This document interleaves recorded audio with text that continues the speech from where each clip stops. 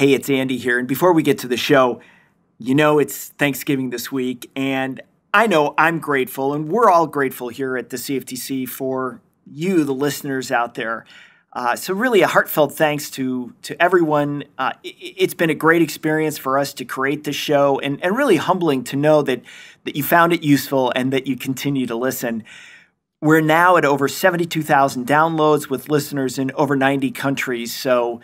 Uh, thank you again. It's it's really been great, and I hope we've been meeting your expectations for bringing great guests on. You know, our goal has always been to bring on people with uh, deep skill sets and, and knowledge about the markets we regulate to, to really help the agency make better informed decisions about policy and really to help educate the public on these issues by sharing this information and, and really sharing it in a format that's accessible, a podcast. So, thank you again. It's been a blast to have you on this ride for this year. I hope you all have a great Thanksgiving. So, stay tuned. Here comes the rest of the show.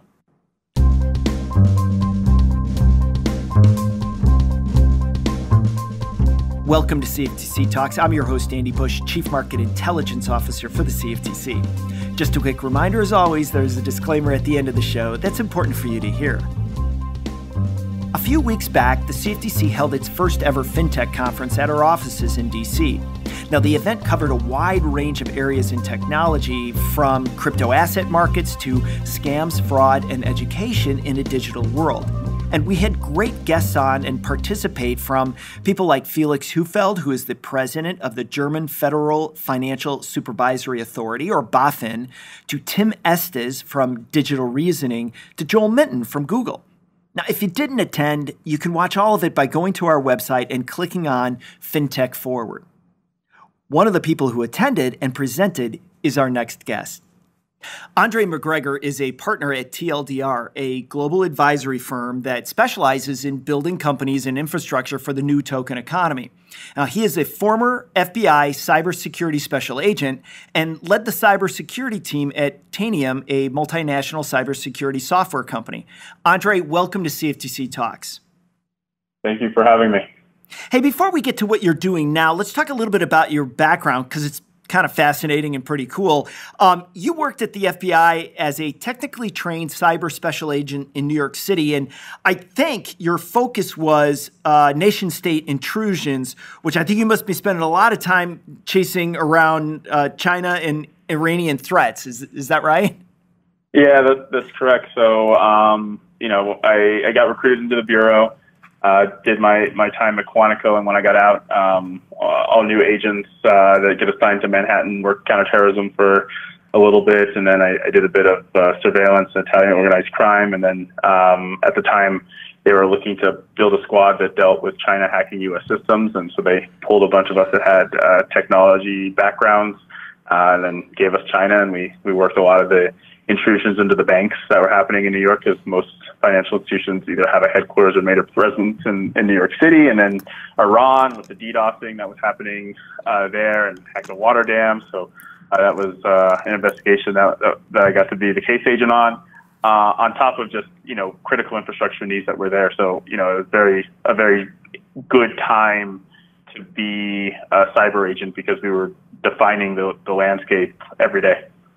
Well, how does that shape your views for today? I mean, it, it, there's there's so much going on in the cyberspace, but um, what a great place to kind of get started for you. So, I, I, guess the question is, you know, how does that shape your mindset looking at today? So, it, you know, it's, it's it's weird for me to say, but you know, I, I got when I when I got into you know working in IT and, and before um, you know the FBI was in the private sector, uh, I didn't really have a respect or the respect that I should have for cybersecurity because I was about availability and, and keeping systems up and keeping you know users working. Um, but then when you start seeing the attacks that are happening, uh, feeling like you have you know no recourse, you know no one to arrest, especially if it's not someone in the United States. Um, your data has been copied, and so now you're not even going to be able to get it back. Um, you may lose your intellectual property. Um, all of that is very impactful for the largest of companies, all the way down to the, the single individual uh, that, that loses $2,000. And so when you look at that, you real, I, the thing I realized over time was that every country hacks. Yes, you know the United States hacks as well. Um, you know, for for nation or for national security purposes, but still hacking nonetheless. And and you know, when you look at a country like Uganda, uh, they just you know not not too long ago added you know three hundred thousand dollars to the budget for uh, cyber intelligence, which uh, can be translated into hacking. Uh, every country has a has a reason to understand their neighbors, or and then then translate that over to the criminals. Um, there's money to be had, and because of that, uh, it's just easier to attack someone remotely than it is to to rob a store, rob a bank, or break into a house. Yeah, as a friend of mine in the cyber uh, security business once said, you know, it, cyber secure or cyber hacking or hacking it, that generates about a trillion and a half dollars a year, right? That's a lot of R and D.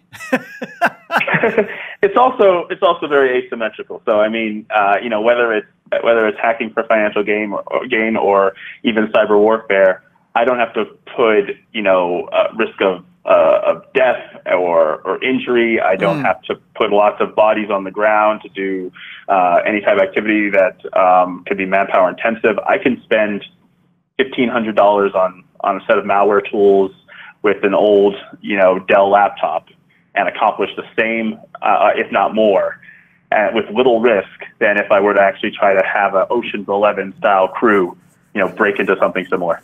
Right, and and I think you know I was just listening to uh, CSIS. They, there was a roundtable discussion um, with uh, three women that were in the in, in, the space as well. And one of the things they were talking about, and I don't want to get too far off topic here, but was just what do nation states do now when they are hacked, when when they are attacked? It, it, you know, what are the decisions they have to make about how that escalates up?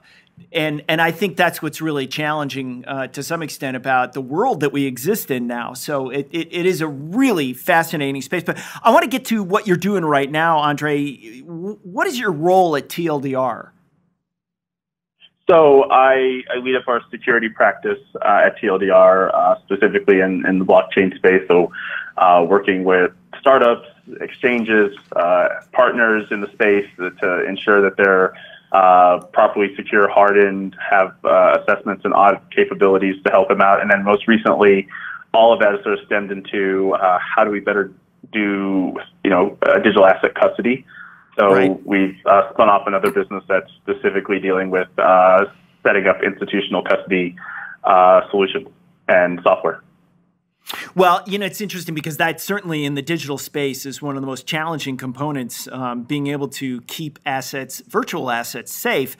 And I, I got to say, you know, in the intro, which you didn't hear, but um, you you uh, spoke at the uh, CFTC's first fintech conference, and and you did a great presentation on safeguarding assets uh, in this space in the digital world. And and I think, as, as, you mentioned, you know, this is utmost importance for clearinghouses, exchanges, and intermediaries. And holding these assets creates you know a range of new system safeguards and custody uh, custody challenges uh, for these entities. So so for our audience, may, maybe you could level set.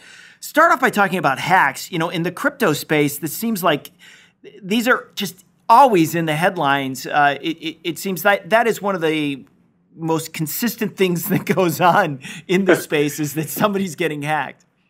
Yeah, no, I mean, you know, uh, I think um, you know it's kind of slowed down a little bit uh, in terms of what's been in the news, which is a good thing, or uh, it's also possible that we're just not seeing as many people reporting it uh, as openly anymore. And we started to see the same actually with financial institutions getting hacked back in 2009 to 2012.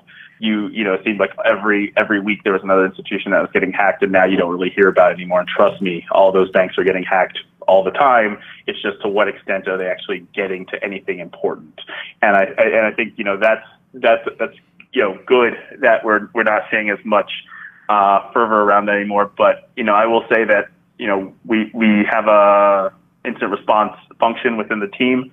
I get a call still once a week. Actually, today had have someone out from a, a private equity fund that just got hacked uh, and dealing with that. So it, it, it you know may not make it to the news, but it's still it's still there.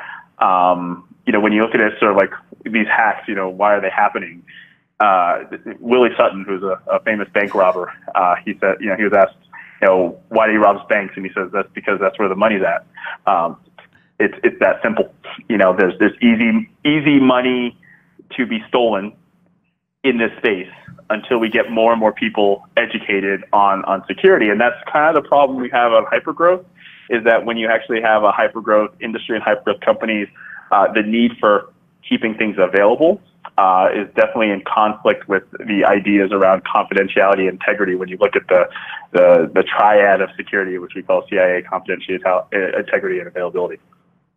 That's yeah, that is really interesting. That, you, that yeah, I mean, because I remember back in 2009 to 12, it seemed like there were there were big announcements by a lot of different groups um, that some were quite surprising about how uh, how they were hacked and how, how much data was actually out there, how many people's uh, personal um, uh, PIIs were ex- uh, exposed and things like that. So um, now it doesn't seem to be as much, or maybe we're just you know we're just used to it, I suppose, to some extent. you know, it's it's part I, of the space I, I that we're getting into. That. Yeah, I think so. Uh, right, I think so. And one of the things that just totally cracked me up. So I, I, I went back home after listening to you, and I started changing all of my passwords because at the conference you said, you know, if your password is less than eight characters, you've already been hacked. Bottom line.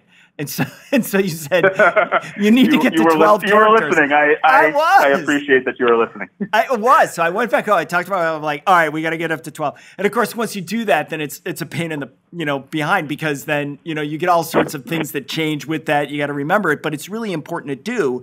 I guess my question for you is is like, what's the most common entry point for for this type of hacking? Uh, it, you know, I'm sure every business person that's listening right now has been told, you know, spear phishing, phishing emails with malicious links and attachments are, you know, uh, compromise. Uh, that's the uh, compromisable vector into a network. It is still 100% true. Uh, mm. 90% over 90% of attacks will still come from email. Why? Because it's a system that is open and available. So if you think about it from the business side, even the personal side, I have to communicate yes, I'm going to have a social media presence. It could be LinkedIn, it could be Medium, it could be other lo- or, or other um, you know sources of, of information. But then someone needs to contact me, and I'm seeking that out. And so, you know, the bad guy knows that. The bad guy can craft an email that is exactly what I'm looking for from the type of person that I would open. And then from there, I get on this machine. And my number one thing as an adversary is to move off of that machine because I know that if I'm trying to get into a bigger network, that you could turn your laptop off and I lose access. So I'm going to find a server because companies don't restart servers; they, they just don't. And and actually, the the more critical the uh, server, the more likely it's out of date and uh, not patched. So it'll just make it a lot easier for me to find that server to sit on. And then from there, I spend my time doing recon until I find my high value target. It could be private keys, it could be data, and then I start exfiltrating that out. You make it sound so simple, Andre. it, it, it, it, weird, weirdly enough, it, it, it is very simple. And, and actually, I would say the most poignant moment of me being a cyber special agent was the moment that I took an offensive um, hacking course. And you know, it's, it's it's it's white hat hacking, and it was a bunch of agents that took it, but it was actually creating the malicious attachment and the malicious link, and doing what we call a reverse shell, so I can actually control your computer from my machine, and I can execute commands, and I can you know zip files up remotely and send them out, and hide in the hide in the noise. Um, right. Once I started doing that, I realized, oh wow, this is as easy as you know just turning on the computer and writing an email like i'm surprised that it's not happening more but that was that aha moment that it's like oh we really need to get the message out we really need to do better as cybersecurity uh, experts to make this uh, harder and raise the cost of the adversary so they can't get into systems well, let's shift over to the fertile ground of crypto. What have been your assessments in the security lane here? Uh, I mean, we're luckily, you know, with the information that's out there, we're we're seeing some you know better practices uh, overall. I think we still have a problem with uh, encrypted systems. You know, some you know there's about 50% of people that actually encrypt their systems so that you know if their machine gets lost or stolen, someone can't just you know access the data that's on there. Uh, obviously, you know, when you're working in a, a remote environment and you're in hotels and on airplanes and coffee shops, you want to have VPN on your laptop but you also want to have it on your mobile phone. Uh, I, I would I would probably be correct in saying that most people do a significant amount of their work on their mobile phone or have a significant amount of access. But why would you, uh, you know, allow yourself to connect blindly to a Wi-Fi on your mobile phone, but you know use VPN on your laptop. You should be doing both. Um, and then also the idea of using a password manager, so it helps you out when you know that you only have to remember one 12 or 13 character password and the rest is handled by the password manager, but also attach a YubiKey uh, to it, some hardware token, so that it can't just be someone you know has that master password. They actually have to also have that something you have you know hardware token. So these are things that are you know that are sort of really simple to do, and and, and people should be executing that you know today. Um, but for for the most part, you know, you see people still are very fresh and new with you know dealing with you know digital assets, and in this case, the digital asset just happens to be worth you know tens, if not hundreds of millions of dollars. Uh, something that can just be stolen, just like the data that was stolen from uh, a database. Well, I mean, you mentioned phones, and I think that's a great uh, component of digital assets because so many people have apps on their phones that they either trade uh, digital assets or they have their keys there. And and you know, why don't you talk about wallets because it's tied to to some extent to that um, in, in, the digital assets. How do how are most people, or what do you see are the best practices for people securing their digital assets? Uh, so I mean, the uh, right now the, the best practice is you know cold offline storage because you're not connected to the internet. Now, obviously, that creates a liquidity problem if you do, you know, trade, and so it's a, you know, sort of a balance act. And most companies and most people are putting about, you know, 90, 95 percent of their assets in, in cold storage, uh, so it's just not accessible. And then the other, you know, five or 10 percent on the hot wallets or exchanges, so they can do that. Um, you know, there's the hardware wallets that are out there. Um, you know, but unfortunately, we're, we're kind of back in the wild, wild west. So you you know, you got stories of people who scraps of paper, printouts, and Polaroid cameras, and you know, all, all the other stuff that you, know, you sort of scratch your head and say, you know, what are we doing? How do we kind of regress backwards? But right, you know, right. being, be, being offline, weirdly enough, is the the safer way than sort of having a, a presence online that uh, could be hacked. Yeah, it's funny, isn't it? That you go to a physical asset again away from digital asset, which was the whole point of having a digital asset. I think it, it is kind of amusing to, to see that. And I, you know, and I think about this because um, it, one of the things that, that, that appears to be missing in the space um, are insurance companies uh, as far as um, being active in the asset space for custody. Maybe you could address that for the audience. Yeah, um, I mean, uh, the, the long and the short of, of the insurance companies in the crypto space is that for the last five years, they've had a hard time tackling cybersecurity insur- insurance and understanding how to actually insure a space um, with as much uh, digital volatility for them that they're that, than what they're used to. And so, um, you know, now you want to add cybersecurity concerns with a high you know value uh, stored commodity, and and that's just kind of blown their mind in terms of you know maybe we just are are, are not ready to to really get into the space and and, and throw too much money uh, and risk there, uh, especially when you start thinking that um, you know even you know the entire insurance industry really you know couldn't cover the total, you know, 200 billion market cap of, of the, the top coins out there right now.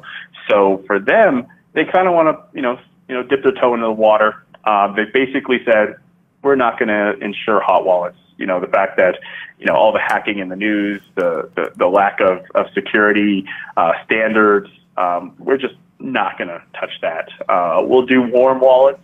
And, you know, that's really kind of, you know, you're, you're touching the internet briefly just to um, broadcast your, your transaction on the blockchain. But outside of that, it, it, it, it's, it's offline for the most part. We'll, we'll insure that, but we'll insure it to, you know, up to 50 million per occurrence. So that, that makes it kind of hard to, to really be competitive, uh, for a lot of, a lot of people wanting custody in the industrial space.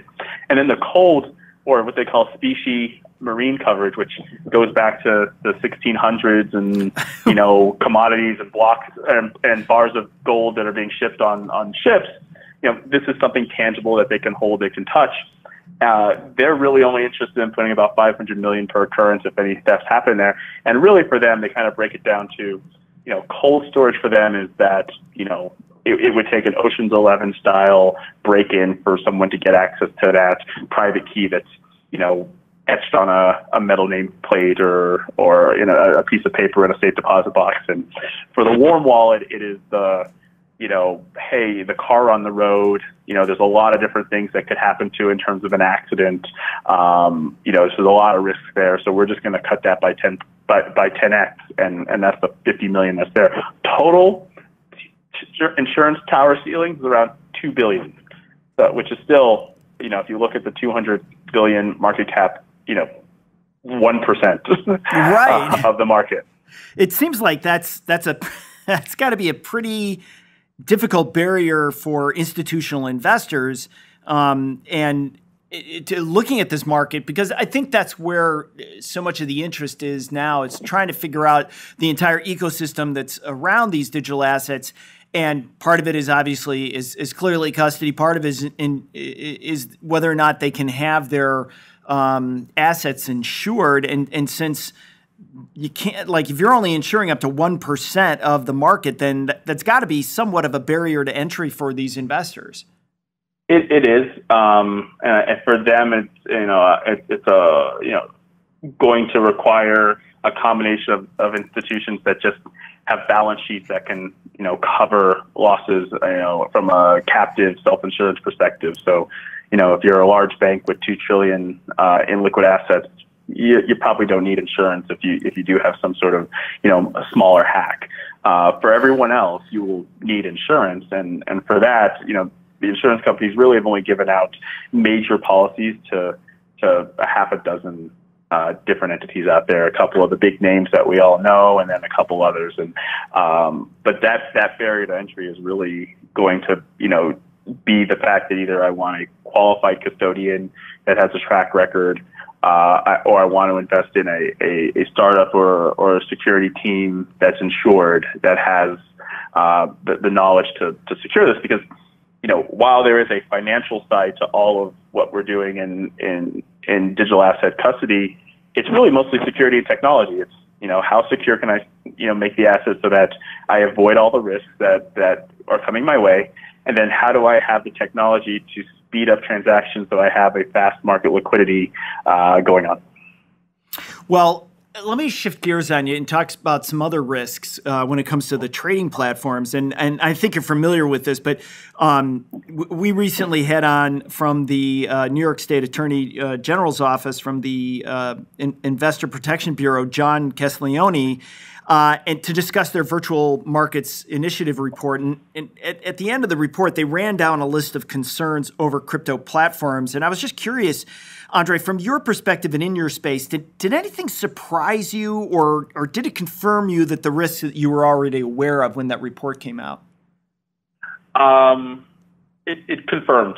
So, I mean, the, the knowledge is there. So that that that that goes without saying. And and having these reports are, are very helpful because people are looking for something to point to to be able to say, ah, I need to work around those particular needs or those particular standards. And you know, I always look back on the cybersecurity days that up until NIST came out with the cybersecurity framework, you know, we were all sort of figuring out best practices um, on the fly and it was changing daily. And you know, once that came out, even though it took iterations for it to, to be where it is today, there was a sigh of relief of like, okay, I have something I can look to, somewhere I can go.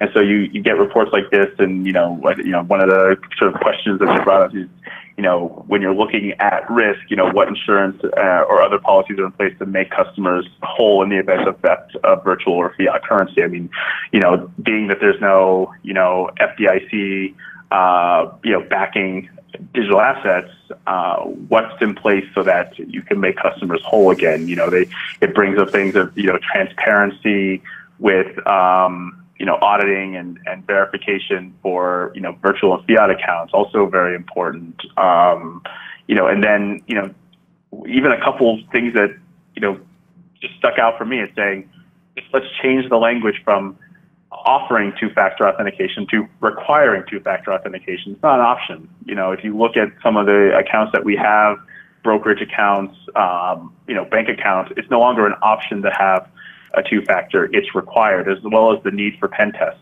You know, you you want to, if you're building your own software, you want to have it pen tested before you go live, and then you want to have it pen tested with any new new major features or any new major versions that, that are happening in software, and you want it to be independent too. So the, the the pen test shouldn't be coming, you know, to the IT team, and they can sort of hide or mask things that um, really would be important for the CEO to know or for the, the board or the audit committee.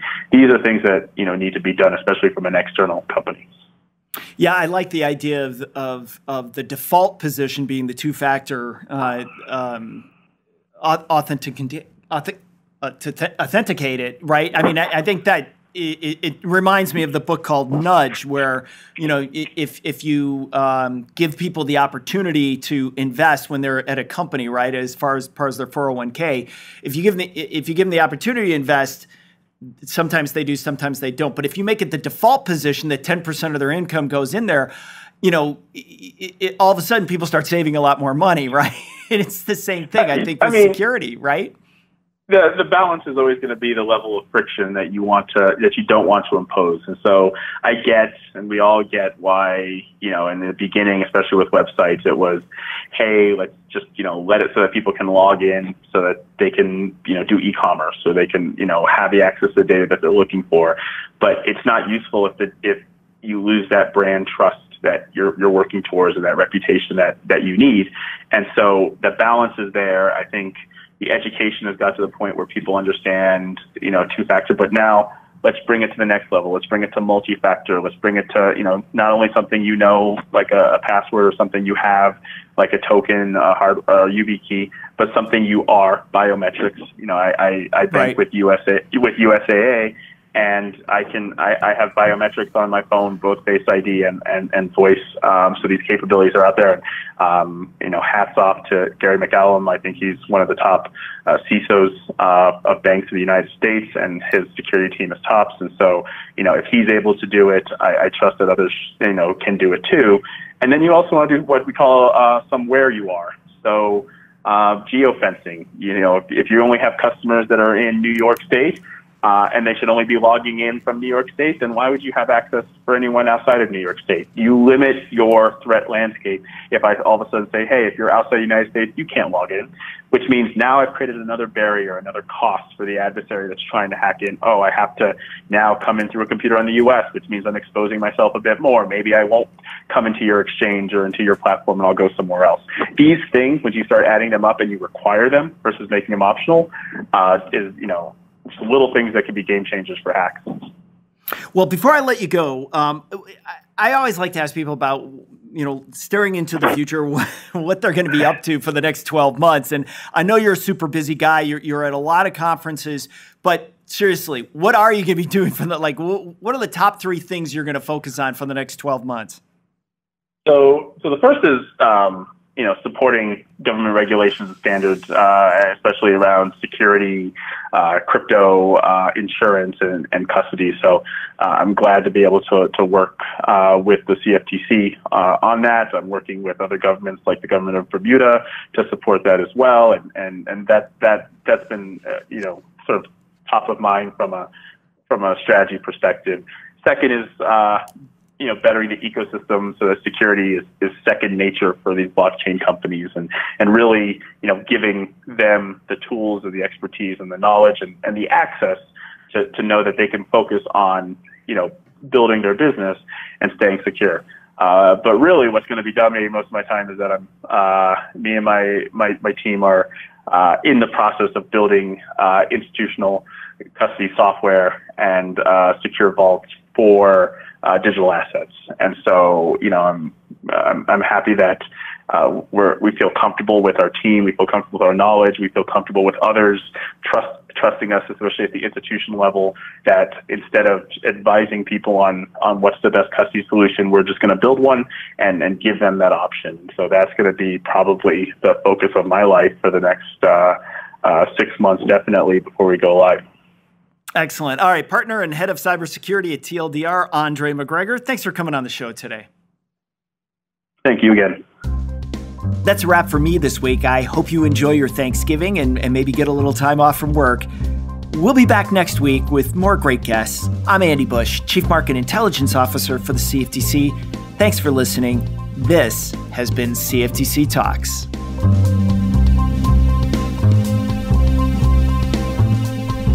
Wait, we're not done yet. It's time for a disclaimer. The CFTC is providing this information as a public service, and it is neither a legal interpretation nor a statement of CFTC policy. Reference to any specific product, service, trademark, manufacturer, or service provider does not constitute an endorsement or recommendation by the CFTC. The CFTC is not liable to any consumer or any third party for any direct, indirect, incidental, consequential, special, or exemplary damages or lost profit related to the use of the information provided or referenced this podcast. Selection of guests on the podcast does not imply an endorsement of any particular individual or entity. Many individuals and entities provide similar services to those of the guest. The views and opinions expressed by the guests in the podcast are their own and not specifically endorsed by the CFTC. Moreover, the information provided in this podcast should not be construed as investment advice. Consumers should rely on their own inquiries as to accuracy and relevance of the information incorporated or referenced in this podcast and assume the entire risk related to its use. The CFTC is providing its interpretation of market trends solely to inform the public of a framework for projecting possible outcomes under different scenarios. If you have any questions concerning the meaning or application of a particular law or rule administered by the CFTC, please consult an attorney.